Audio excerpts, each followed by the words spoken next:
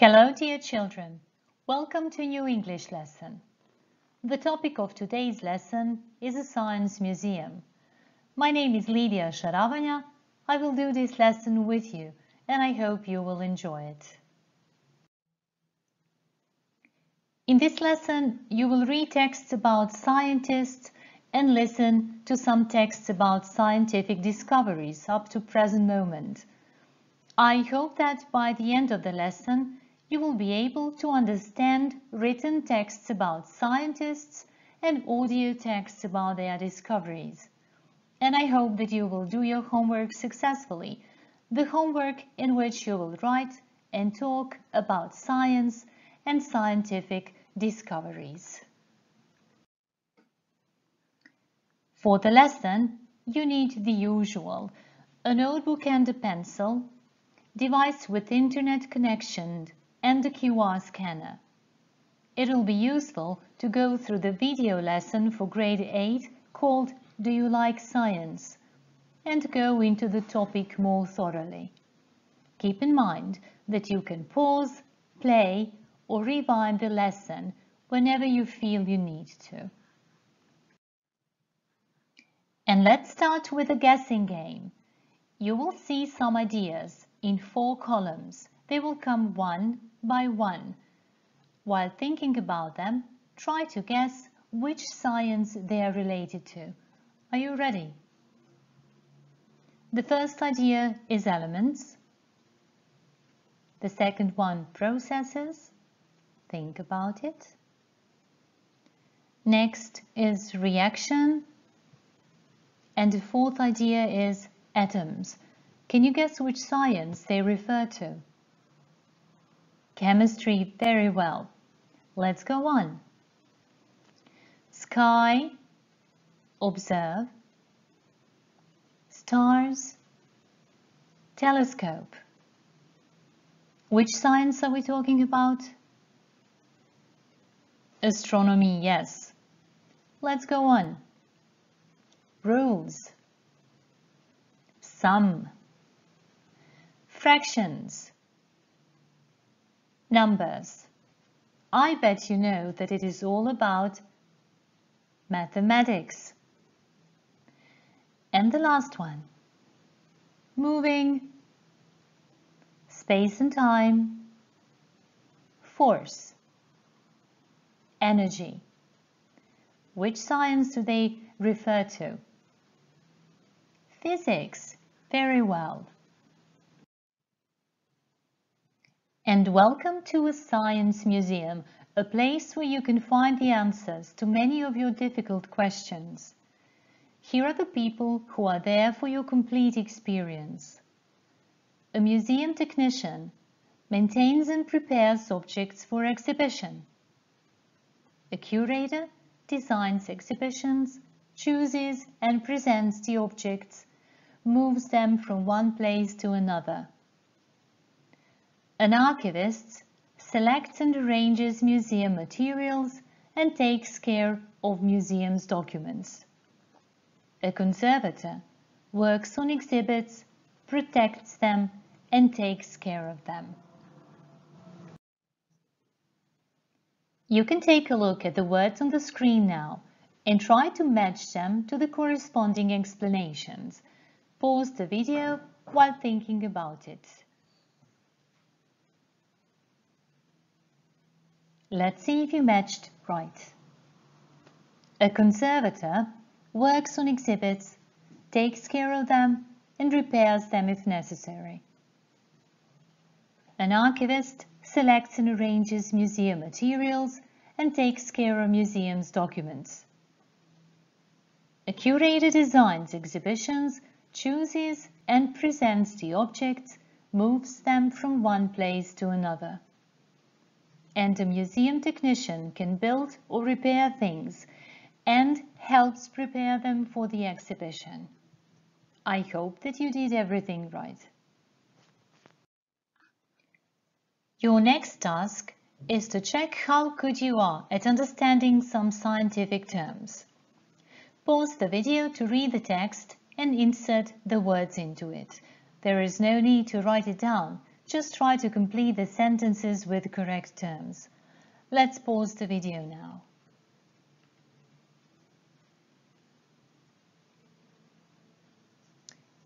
And let's see how well you have done it. When you heat and cool a liquid because you want to separate things in it, you perform distillation. A pleasant sweet smell is also called fragrance. Essential oils are made out of plants, usually flowers, and have specific fragrance. When you extract things, it means that you use a special method to take them out of something else. The process of extracting essential oils from flowers using fat is called enfleurage. I hope that you did everything right. You are at the first stop in the museum now. The curator is showing some exhibits. Can you recognize the process photographed on the left? What does it have in common with the photo on the right? Let's listen to her. What you see on the left is the process of distillation. Distillation is one of the methods used to extract fragrances from plants such as orange blossoms, lilies, or roses. Distilled products are known as essential oils. Do you know when people first started producing essential oils? Let's find out. We are going back to 1200 BC. This exhibit comes from Mesopotamia. It is a tablet on which you can read about Teputi Belete Kalim. means female palace overseer and Tapputi is a name. Do you know what an overseer means? Overseer is a person who makes sure that everybody does their business properly. The word in Croatian is nadglednik. Have you heard of Tapputi? Probably not.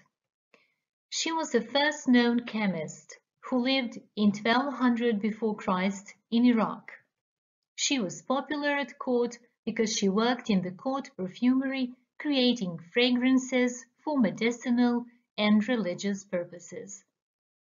Tapputi had a detailed knowledge of chemistry, especially solvents and processes like distillation, extraction, and cold enfleurage. If you are interested in the process of enfleurage, check the link below the picture. bit.ly 8 enfleurage. Let's look at this now. What do the images represent? What can you see in the video? These are images of a lunar eclipse. A lunar eclipse happens when the moon moves into the Earth's shadow. This only happens when the sun and the moon are exactly or very closely aligned with the Earth. When the moon is totally eclipsed, it turns a reddish color, and that's called a blood moon. It can last up to two hours and it can be seen from anywhere from the night side of the world. Do you know who was one of the first people who could understand how the moon and the sun move? Let's find out. We are going to the 18th century now. You're going to read about another scientist now. Copy the fact file from the screen into your notebooks and complete it while reading. Pause the video to do so. You can pause the video again now to read the text and do your task. After you've completed the fact file, play the video again and check what you have written. Now let's look at the fact file with the, the pieces of information that were missing. Name, Wang Zhenyi. Occupation, an astronomer, a mathematician, a poet. Time, 18th century. Place, China. Contribution, describing the movements of the sun, the moon, and planets.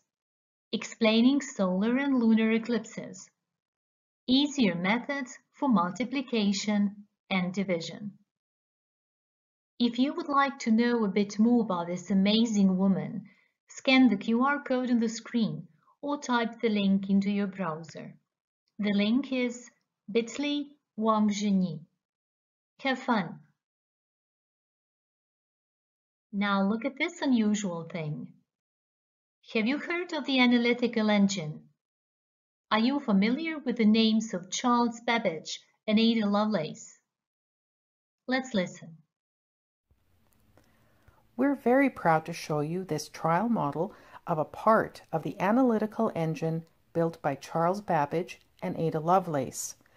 This was a mechanical, general-purpose computer similar to computers designed in the electronic era. Unfortunately, Babbage and Lovelace were not able to complete the construction of this engine because they didn't have enough engineering and financial support. Now, Charles Babbage is a famous name, but what about Ada Lovelace?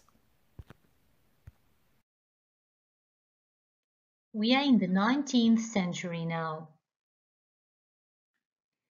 Before reading about Ada Lovelace, Try to guess some things from her life using the keywords on the screen. You probably do not know a lot about her, but you still might guess something right. Your task is to look at the keywords. Use each in a sentence to guess about Ada Lovelace. The keywords are computer algorithm, education, invent, programmer, calculate.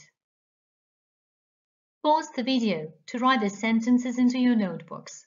When you have finished, play the video again.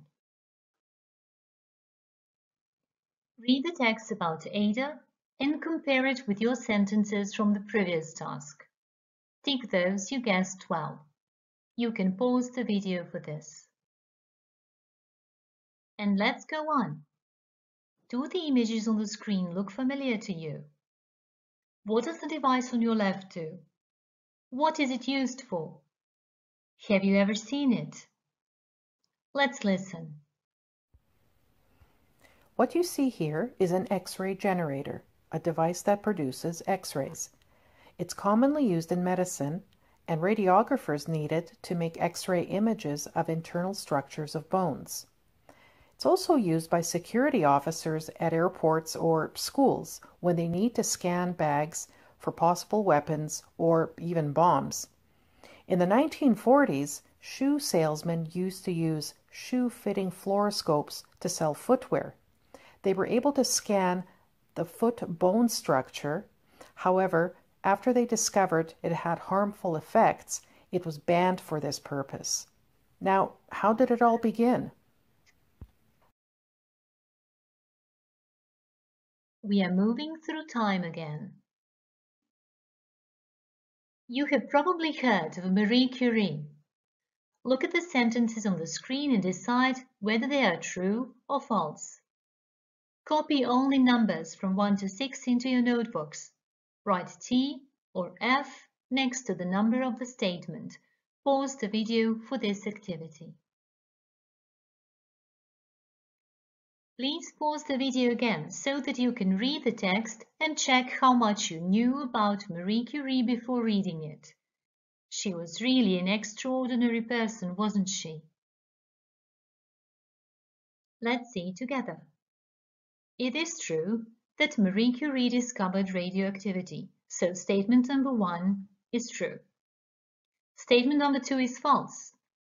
A mobile X-ray unit was used in World War II. Statements 3 and 4 are both true. Marie Curie was married, and her husband Pierre Curie was a scientist. Polonium and radium are radioactive elements, so statement number 5 is true. Unfortunately, statement number 6 is false. Marie Curie won two Nobel Prizes. Let's move on. We are obviously going to talk about space next. What is there between stars and planets? Why don't they drift away to some random direction? Let's hear. The thing that keeps galaxies from flying apart is dark matter. Without dark matter, galaxies would not be formed as we know them to exist, and they wouldn't move in the same way. Now, it's really difficult to observe them directly, and that's why some astrophysicists actually doubt their existence because they need more proof. So, is there any evidence at all that they actually exist? Let's check it out. Welcome to the 20th century. You will pause the video once more for this activity. Look at the fact file about Vera Rubin. Write a text about her using the information from the fact file. Take as much time as you need. Read the text about Vera on your screens. Is it similar to yours? I believe it is. It is time to see how well you understand the new words from this lesson. Scan the QR code or type the link bit.ly SCI Museum into your browser. Have fun and do well. Did you know?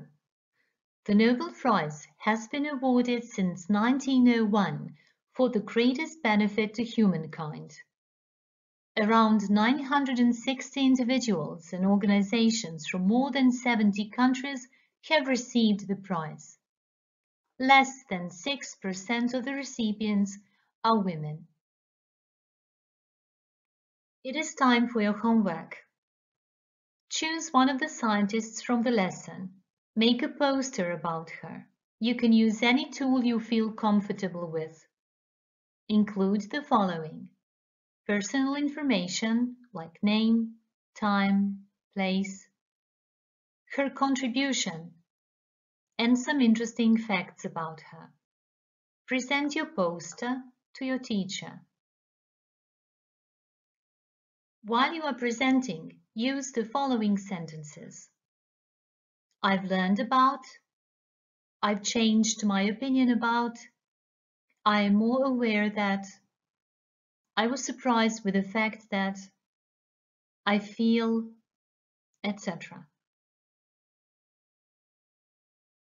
If your mind is tickled by science, you can visit the page that the Science Museum Group has prepared for their visitors.